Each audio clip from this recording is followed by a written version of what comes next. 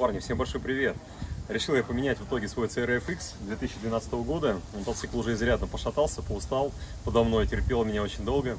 Кстати, надоумил меня поменять один из моих э, комментаторов, кто написали в видео, где я трени тренировал медленные вилли. Типа, что ты делаешь на этом старой каркалыге, пытаешься что-то делать в то время, когда там есть более современная техника. Ну и так как-то он был очень убедительный комментатор, и в общем в итоге я решил приобрести себе КТМ 300 и XT. Собственно говоря, хочу поехать сейчас по объявлению, посмотреть мотоцикл и приглашаю вас вместе со мной. Посмотрите, как я это делаю, и может быть кому-то видео будет полезным. Погнали! Приехали мы смотреть КТМ, Валерий. Егор, очень приятно. Хозяин мотоцикла любезно нам позволил поснимать процесс осмотра. Правда, не знаю, чем он сейчас кончится, но тем не менее говорит, что не против. В общем, ребят, с чего мы начнем? То есть хочу вам показать э, своими глазами, как я этот осмотр вижу. Кто-то скажет, конечно, надо было другое что-то смотреть, но вот я вот себе выбираю мотик, поэтому вот что смотрю я. Ну, первое, что смотрим мотоцикл со всех сторон просто. То есть обходим его и весь смотрим смотрим его на предмет кривизны, чтобы не был весь вот как бы гнутый, какой-то мятый, валенный. Это должен быть нормальный, я вроде немного падаю. Ну, пластик смотрю, конечно, короче, коцанный, прям вот здесь белые складки видно. Здесь тоже как бы белые складки видно, хвост вроде целый. На крыле тоже. Кувыркался? Да не помню. Тяжелый случай. Тяжелый случай. Я понял. Ну, в общем, смотрим пластик, посмотрели, пластик, ну, как уже сказал, такой откровенно поломанного нигде нету. Ну и, соответственно, смотрим а, элементы крышки двигателя. То есть это, кстати, на предмет, там, условно, скрученности пробега, да, скрученности моточасов. Чтобы это все было такое не поюзанное, не затертое сильно. Лапка тоже, что вот эти а, штучки, вот эти шершавости, не были стерты, потому что если много эксплуатировалось, конечно, лапку поменять можно, но в целом, как бы, вроде похоже на оригинал, чуть-чуть ржавые. Мало ездил, да? Ну, довольно-таки немного. Понятно, в общем, короче, смотрим все вот эти люфты тоже, всего-всего. А, Арин, покажи, смотри, вот я всегда обращаю внимание на состояние звезд, то есть они не должны иметь как угол у бензопилы, то есть, вот, грубо говоря, такие загнутые не должны быть. Вот то же самое на задней звезде, Прям как новый, можно сказать. Даже подозрительно. Слушай, а цепь, смотрю, обработанная. Он стоял, что ли, да? Да, был на зиму законсервирован. Понял, понял. Ловушка цепи тоже, смотрю, слайдеры достаточно как бы целые, не потертые. Ну и смотрим мотоцикл там на предмет всех течей, чтобы нигде ничего не текло. Нигде не было лопин никаких. То есть сначала двигатель смотрим, то есть, ну, все вроде как целая. Ничего, даже вот на болтах следов нет откручивания. Ничего не делалось. Вот. Можем, надо посмотреть, я считаю, обязательно его снизу. Смотрим снизу. Ну, смотрю, здесь, походу, защитка стояла. Оторвал, да? Ну да, был грех. Короче, вот. А так, в целом, смотрю, снизу тоже никаких лопин нет. Все целое. Вот. Так, дальше смотрим амортизатор. Шток, соответственно, не должен быть запотевший. Но здесь вот он совершенно сухой. Да, сухой. Блин, вообще мотоцикл на самом деле как новый. Вот, а, перья на вилке. Перья на вилке. То же самое. Не должно быть запотелости каких-то течей. Ну, вроде тоже все целое. Смотрим вот эти места. Опять-таки откручивалось, не откручивалось для похабного гаражного ремонта. Тоже вроде все целое. Соответственно, смотрим суппорта. Износ колодок. Ну, колодочки понятно, что расходник, но тем не менее. Диска, колодочек, ну, суппорта тоже как новые. Резина, кстати, здесь стоит. Митас Мицеллер. Тоже состояние довольно-таки хорошее, не сточено еще. Цепочка натянута нормально. Так, передний суппорт смотрим. Опа. Даже бумажечка сохранилась. Брэмбовские суппорта. Все тоже целое. Смотрим раму, состояние рамы тоже где, что потертые, не потертые. Ну, все вроде целые, даже проводка не натерла вот эти места, которые обычно натирают на КТМах. Еще я с собой притащил вот такую подставочку. Подставочка сейчас нам немножко поможет. Немножко поможет. Так, только не урони, а то если упадет, купишь, значит. Хорошо. Нет, стоит вроде нормально. Так, стоит вроде нормально. Для чего я это делаю? Собственно говоря, я хотел попробовать люфт колес. Так, как же, правда, сделать, чтобы не уронить? Держу. Ну, помоги, да, немножко. Посмотреть, не, зак- не закусывает ли суппорта. Да нет, да, нормально крутится вроде. Так, ну и, соответственно, заднее колесо тоже.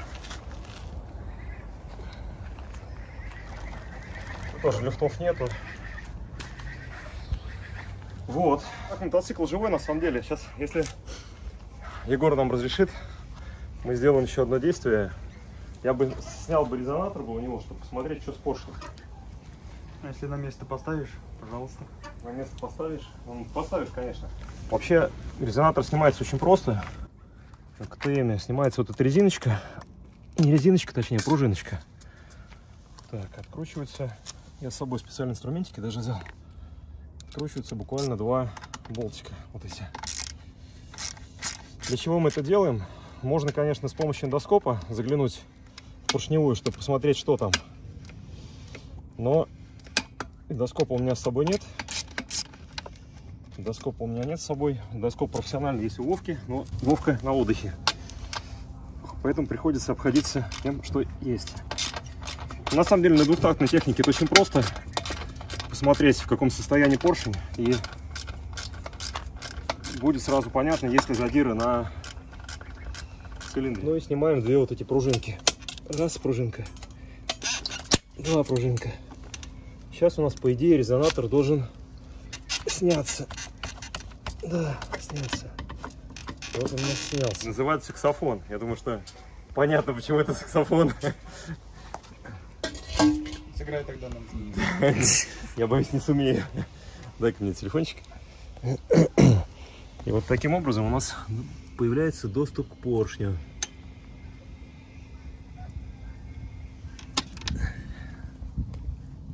Егор, а потяни назад его немножко, совсем, буквально. Стой, стой, стой, стой, стой. Ага, ну, спасибо большое. Так, все, отлично. Я вижу поршень. И вижу, что задиров там нет. Супер. Хочу посмотреть тоже воздушный фильтр. Воздушный фильтр. Парни, на самом деле, вот пока хозяин отошел, воздушный фильтр обслуженный, смотрю, цепь намазанная. Бачок масла я, кстати, уже посмотрел, вообще полный, залитый полностью.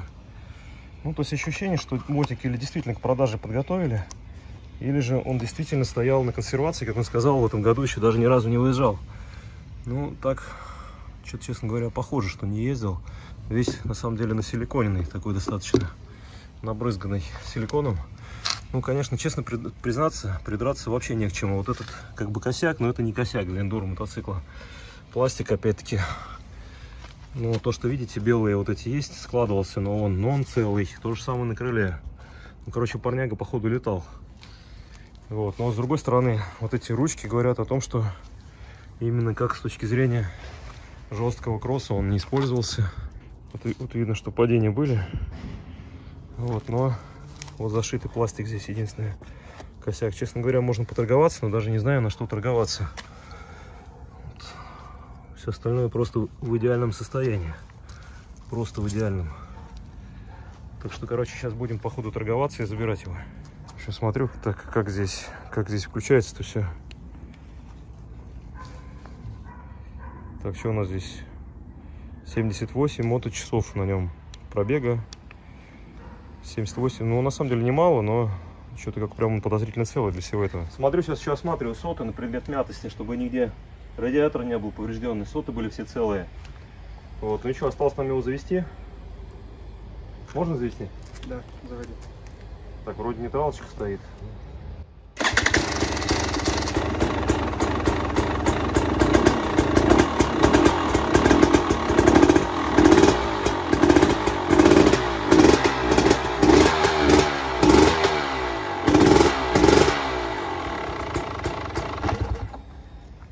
даже фара работает.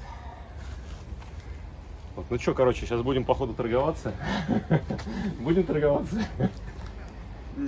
Если есть за что. Если есть за что, но сейчас будем, короче, торговаться. Это уже процесс интимный, поэтому показывать его не буду. Вот, ну и, в общем-то, в принципе, мотик, мне кажется, хороший, наверное. Наверное. Если по цене сойдемся, то, наверное, хороший. Парни, ну что, забрал я мотоцикл в итоге. Специально, видите, поставил его в гараже рядом с оранжевым, другим. Оранжевый и оранжевый прикольно смотрится. Честно сказать, поторговаться мне не удалось. Эм, не захотел он снижать цену. Ну, аргументов найти, на что скинуть цену, тоже я не нашел, потому что, как бы он честно сказал еще по телефону, что катался мало, а, говорил, в каком режиме катался, рассказал, что пошел в школу, несколько раз здорово упал, и после этого перестал ходить и гонял, гонял чисто вдоль полей. Вот. Но по мотоциклу это как раз и видно, то, что много моточасов, 78 моточасов, при этом состояние мотоцикла очень и очень живое, то есть явно без жесткого эндура, без хард эндура, без каких-то падений лютых и так далее. Вот. Поэтому, в принципе, не жалею я все равно, что его забрал, хотя цена, ну, хотя цена всегда вопрос такой двоякий. Для кого-то высокая, для кого-то низкая. Вот. Но, как говорится, будем осваиваться. Сейчас проверим все жидкости, техническое состояние, в общем-то, и будем вкатываться потихонечку. А как это будет происходить, смотрите. Все-таки, думаю, несколько роликов выпустить я все-таки успею до зимы. А дальше зима. И снова мы с вами каждую неделю. Короче, все, много слов, мало дела, погнали делать. Всем пока.